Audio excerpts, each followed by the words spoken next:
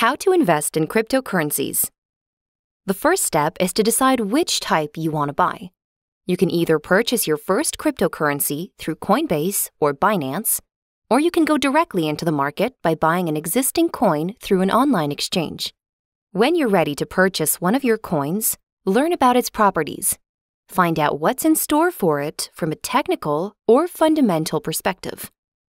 To purchase a cryptocurrency, you'll need to have funds in an exchange. For example, if you wanted to purchase Ethereum, ETH, you would first have to buy Bitcoin using Coinbase or another online exchange.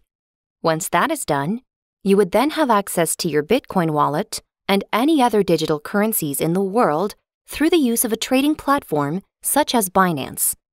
From there, you can then move your Bitcoin into a trading platform where you'll be able to purchase Ethereum. Next, you'll need to make a wallet for yourself. A cryptocurrency wallet is the equivalent of a bank account. In most cases, digital wallets can be found online or downloaded onto your phone or computer. You'll have a unique address that will allow you to receive digital currencies from others and send them as well. Once you have your coins, the next step is to find somewhere to safely store them.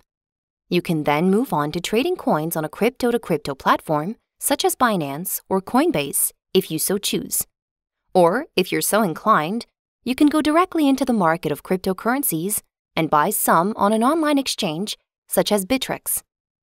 Finally, if the crypto to crypto exchange is something that you enjoy, then you can just stick with it. However, if it isn't your thing, then you can always look into other options that may exist. These include going directly into the market of cryptocurrencies and buying some on an online exchange such as Bittrex. In some instances, there may be a difference in price between them, as well as others, as new coins enter the market.